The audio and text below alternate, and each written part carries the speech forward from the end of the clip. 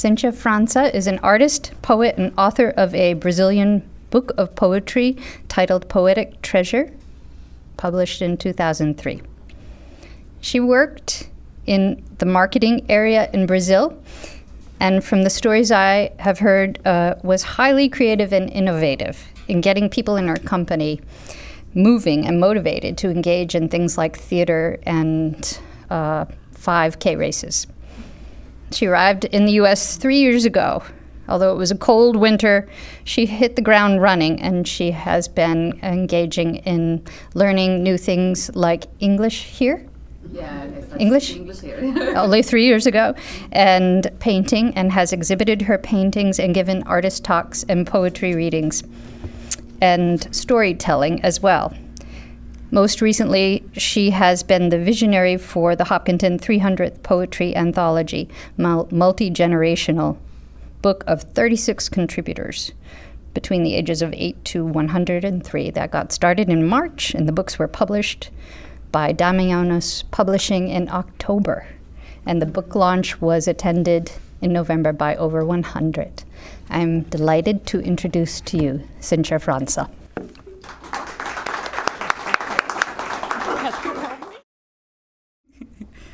Good morning, everyone. Good morning.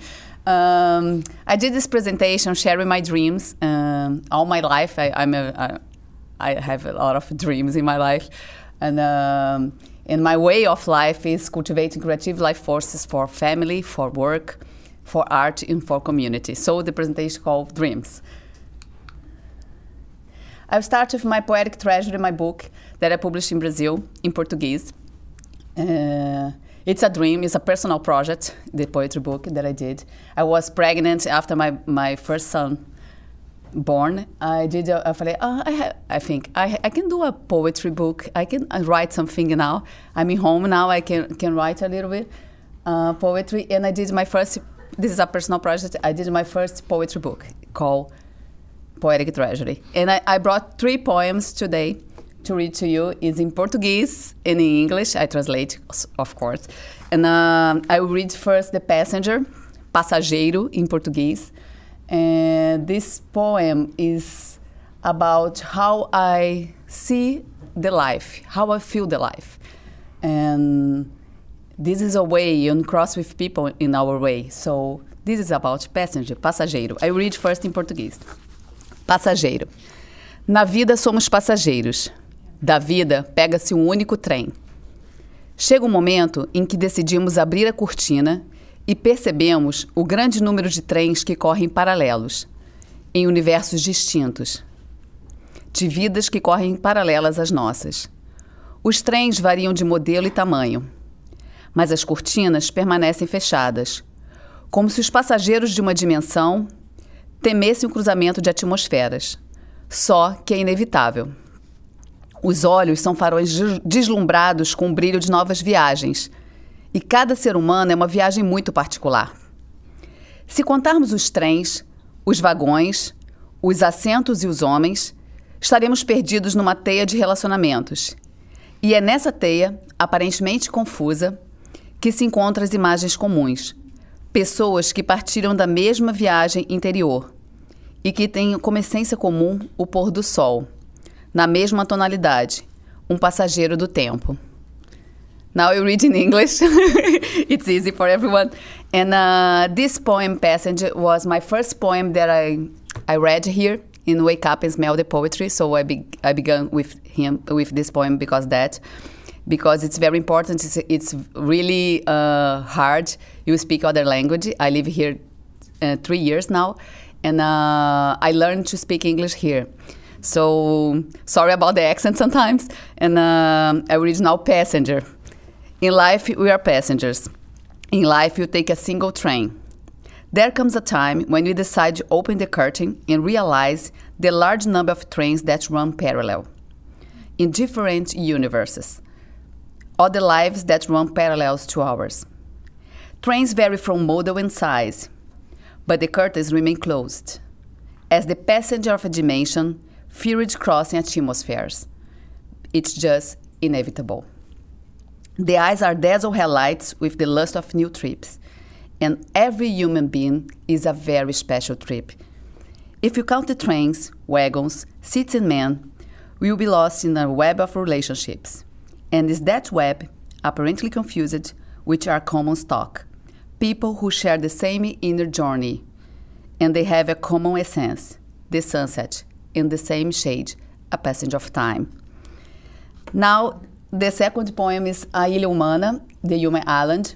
Uh, it's a short poem. It's about, again, talk about our life. And uh, I, I'm not reading the Mosaic of the Sonhos, Mo Mosaic of Dreams, because I think I don't have time for read the three. So I read the second one in Portuguese, the short one, A Ilha Humana. Quem se isola é uma ilha, quem se busca, um arquipélago, quem se encontra, um continente humano. The Human Island. Who isolates oneself is an island. Who seeks oneself, an archipelago. Who meets oneself, and human continent.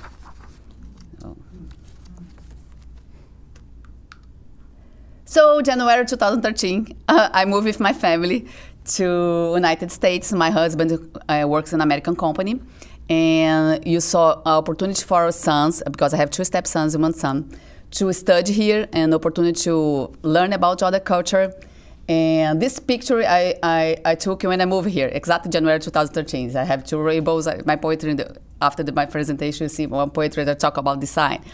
And uh, I took this picture because I love this town. I was looking for good towns with, with good schools, and I, I started looking for places in Brazil yet when I was thinking about moving.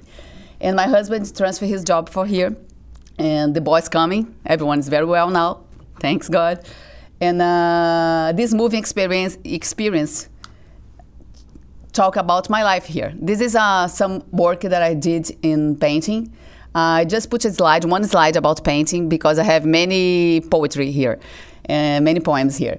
So this is my, I'm a beginner, okay? I started in September 2013 to paint here. So my, I'm a beginner. I did oil painting in Hopton Center for the Arts.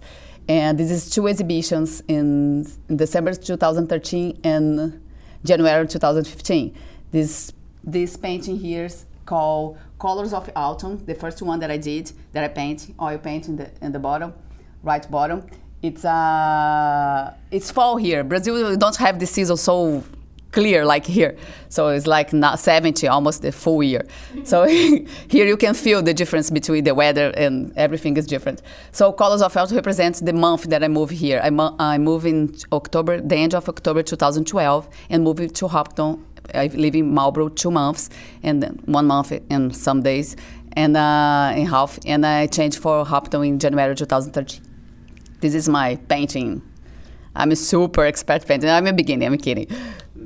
So um, I had an experience here in my life when I'm moving. Um, I shared this story, this story in the same office space. Now we have a bittersweet space, amazing space for storytelling here in town.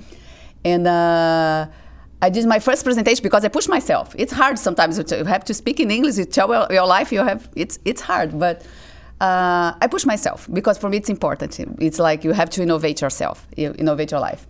And I did this presentation, I did this big box for the storyteller talk, and uh, talk about moving, about my moving here. Uh, about the challenges when you have to move your life because it's a, I'm a businesswoman, like a, a, manager, marketing manager, work a lot, many hours a day, and then I move here with family because you have uh, a dream. Because when you have a family, the dream is your dreams and dream of a family. So I decided to go. It's my choice, a choice for, for my family, for the better for my family. And um, and did this presentation talk about moving about the challenge. And i use during the presentation i turned the, the box and, and show the fragile. Because big change small change always you have to be ready to reinvent yourself. So how you feel fragile and you change your life like that And then I turn around the, the box again and talk about, it's okay, it's a little clear now, is this side up. Because after the fragile moment, like winter, uh, different culture, different language, uh, everything was different. Different measurements because you have yard, you have feet. In Brazil, you have meters, centimeters, milliliters, uh, meters. Uh, it's totally different.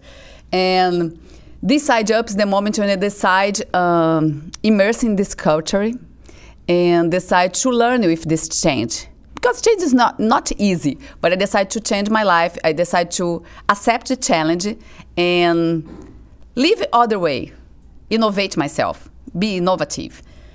And um, I connect with my the thing that I love in Brazil because I work with communication, marketing, and, and poetry a long time. And um, when I put this side up, when I turn the box and say this side up, is the moment when I connect with the things that I love, like run. I run all my life. Uh, I started the running club in my company, and um, you know, 80% of people run there, and uh, it's a big challenge for people. It's good for life. And I start this side up. I connect with with plays here. With um, I start the theater company there, the second group of theater there, talk about concepts of innovation in job, and. Uh, every year you have to, to put our goals for the for the employees there. And i say why why you cannot say you can do something different? And i start to do plays to to put people to understand the concepts of innovation. And it's very good because the, the organization environment was much better after that so here I decide to run. Here I decide to start poetry. Here and here I decide to change my life. And, uh, I, and after that, after turn the, the box again, I say the change is our best gift. Keep moving. You have to keep moving all the time. So I start to talk about because I don't have time to talk about all the art. So I read my first poem that I, I think in English. Uh, all the time I, I, I think in Portuguese and then I translate. I think it's usual. And uh, but this poem is the first time that I think in English and put the words in, in English on paper. On paper. I was trying to do Hopton, uh, Boston Marathon this year, 2015, and I tried the lottery in my running club. I try. It's a raising money so hard. I don't. I don't qualify for for Boston Marathon. It's very hard for my age group. It's very hard for everyone, I think. And um, and I decide to go to the lottery. I have a hope. I go to the lottery. I, that's okay. And uh, my friends are supporting me there, like, yeah, you can do. Like, yes. I was training. My okay. I lost. Okay. And after that, I was very emotional after the lottery because I had a lot of hope. I wrote my first poem in English called The Way, A Conversation with Yourself. Wrong way. Stop Listen to your heart and your soul with kindness and balance. Forget the previous maps. Breathe deeply and choose your way again. Go. Try to keep your pace on the downhills and on the up hills. I'm running the long downhill now with my feelings. But life is a big, wonderful way for your dreams. Can you see the horizon? Can you see your dream clear and strong? Not yet. It's blurry. Be calm, you will see. You are going the right way. Don't choose shortcuts. Just keep going. And I looked around me. I saw magical landscapes, green leaves changing their colors for red and gold, trees trying to touch the sun, and the sun holding the trees with shine and power. I watched the life growing up around me. I thought about the beginning of everything I remember each step, each accomplishment, each victory. Never was I alone on my way. I had my friends all the time. Sometimes they were changing these routes for to stay with me. Other times I was changing my routes to stay with them. It wasn't anymore my map or their map, but ours. We are sharing the way. And I saw my dreams so clear and full of colors that I could touch. And I did my sprint with the soul filled of joy, and I crossed the horizon. Finish line? No, this is only the beginning. And it's very emotional. I dedicate to my friends. They are, they are there. Uh, cheering for me. I dedicate this poetry for them. Hands dancing. This is a this is a new poem that I wrote in January this year, and uh, this paint is from my friend uh, Liz Ricketson. I call her Liz. Elizabeth Ricketson. I call her Liz. Uh, She did a, a delicate surgery uh, in the beginning this, of this year in her hand. She was very worried about paint again, and because it, it's her job. And uh, feeling her emotion, I wrote this poem. It's called Hands Dancing. She pa- hands dancing. She paused for a moment. She was nervous. Suddenly, the dance floor seemed empty. She could hear her fears clearly locked in acrylic paint tubs. On the right side of the room entered her partner, dancing with steps of grace and charm. Multicolored brushstrokes filled the blank canvas and created the entire background of the painting.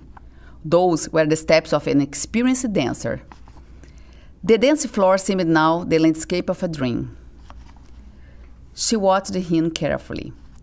She was not afraid. The paints dove into her imagination and the brushes began to spin. She wanted to be part of that dance.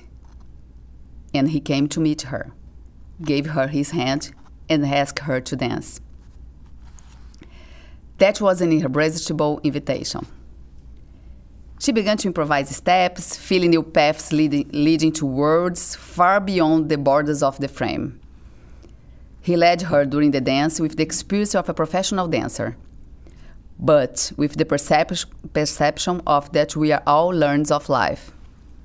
Innovation, experience. Her left hand, his right hand. Together, the creation of a new dimension to the abstract. Hands dancing, always be able to fly. Okay. Oh, sorry. This is. Um, this painting is the first paint, painting she did after the surgery in January, the end of January. This project is amazing project. I don't know if I think some people here know this project. is um, poetry on the trail. Uh, a honor to be part of that. Uh, Sharon Polly uh, invite the the, the writers. The okay, Cheryl, the time is going. Okay. and uh, and I share one poetry about the sculptures. The idea is put the art on the trail in Hopton Center Trail, and uh, the poets were invited to to write about that. I, I wrote a poetry about all the sculptures there, and my vision was uh, no talk about one or other sculpture, but talk about the perception of the sculptor when they watch the walkers there. No walkers and the sculptor, but sculptor watching the walkers. It's a long poem because I talk about all the, the, the sculptures, but I, I read the beginning and the end of the poetry, called Perceptions. Uh, I, and the beginning of the poem I have Out on a Limb, um, a piece of from Kate by Kate Hoey, and I have Sky Warrior by Virginia Fitzgerald, and I have Michael Alfano. It's the three pieces that I talk about now, because I don't have time. Uh, perceptions. When you cross this trail, you are not alone. An invisible gate is open for two guardians. Looking up on your left, a colorful house is waiting for you out on a limb. There's something interesting about this house. It's not like the others. Its architecture escapes the obvious. Your address is unusual, the top of a tree, and inside this view of all who cross the gate. Its colors are of such intensity they invite the eye forever. How many times how many times you have lost the opportunity to know the value of a human being, however different they seem at first sight? A new look at the world means a new look at ourselves and each other. We all like that house, special. The Sky Warrior is up on your right, giving you her pure crystal heart. When the sun's light passes through the dress, the Oriole dances with the, with the wind.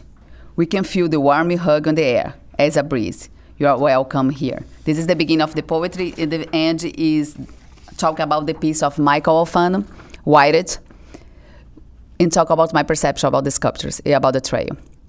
We are watching you, briefing with you. We are all connected. Human profiles in multiple directions. We are all wired. Like a human nature, but unique human beings. We are the mirror of your feelings in art form. We are all perceptions. Sculpture perceptions us, alive symbiosis. And These some pictures of the trail. It's a big group there. It's amazing. In September 2015. And Hopton True Poetry celebrates 300 years Hopton, Massachusetts. How's the time, Cheryl? we have about uh, Three seconds. three or four more minutes. Okay, thank you. Um, this project is uh, my big dream. Uh, November last year, I talked with Sharon my idea to write a book and dedicate to Hopton. Because um, after you, you listen to listen my story, my story here, it's uh, I was very welcome in this community. I was very excited about this community, and I was thinking to dedicate something to the town. And I share with Cheryl, uh, you can do this a poetry book dedicated to, to town. And it's the time for the Hopton 300 anniversary this year. And you, together, we're the coordinate, coordinators of this project called Hopton True Poetry Anthology Project. And we invite the community to have 36 amazing writers here in this project. And you did a book launch, like Cheryl said. This is our web- website. And uh, now I put the button, buy now the book now you can buy by our website. And um, and put the name of the writers here in the website too. They are the writers here.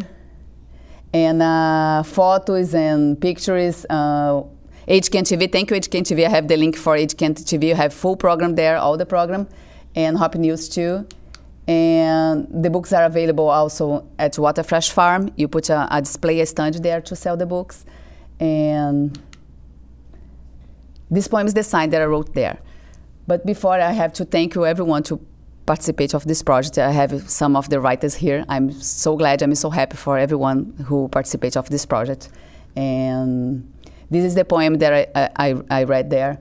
And this poem that mean my life here. It's like a cycle. So I read for finish my presentation because my time is gone. Um, the sign.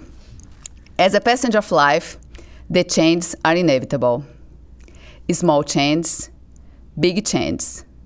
We need to be ready to reinvent ourselves and see the world with a new perspective. Be resilient and keep moving. When Hopton became my home, it was winter 2013. Cold weather, different culture, other language, measurements to learn. Against the winter and snowstorms, a special neighbor came to my home. Gift bag, beautiful card, delicious pumpkin bread, and a winter candle. Welcome to the neighborhood, she said. Warm hug, I smile, special neighbors, no more boundaries. I've learned with my new beginnings. Hopton Running Club, where I met my best friends in the town. Tuesdays runs, brunches and lofts, Saturday runs, 5K, half marathons, marathons, relays. Teamwork, friendship. We are sharing the way. In Hopton Center for the Arts, my path became colorful landscapes, words in brushes, shades of joy. Paint is a different way of communication of the colors that come from your heart. We are blossoming and growing in life. In Hopkinton, the poetry flows naturally. Naturally, as a soft breeze, the town is very inspiring. When you are ready to wake up and smell the poetry, the art gives meaning and inspiration about life. In my early days in Hopton, I remember the first thing that I saw in town when I moved from Brazil. It was Christmas season, and there were two red rainbows. The sign said everything since the beginning. Welcome to Hopkinton. It's true, I can feel. Hopton is a gift. We are all welcome here. And I finished my presentation with the poem, from Fernando Pessoa, is a poet from Portugal, and the called Travessia Crossing. There comes a time when it's necessary to abandon the used clothes that already have the shape of your body and forget the paths that always take us to the same places. It's the time for the crossing, because if you don't dare to, we shall have stayed forever at the edge of ourselves. Thank you. Thank you.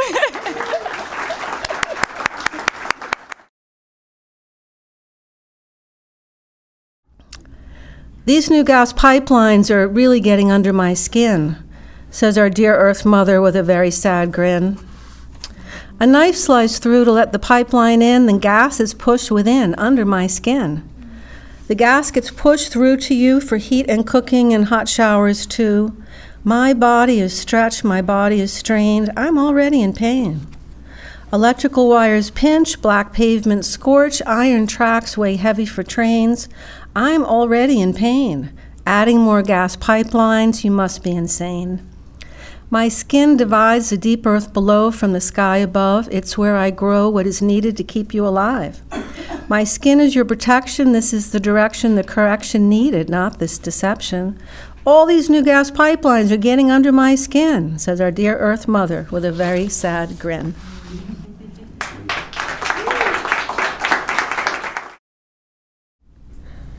The earth turns and we lean out, gathering to ourselves a little more light each day. Yes, it is true that shadow and light walk side by side, bowing their heads together in intimate conversation. Because the world turns, the darkest days must come. And the long nights will spill across the floor like water. And yet, there will always be that subtle shift, a pivotal moment, when we know that the deepest dark is done and the longest night is over. When we sense something luminous, something clear and unmistakable, the fulfillment of a promise that grows stronger in regular and trustworthy increments. Thank you.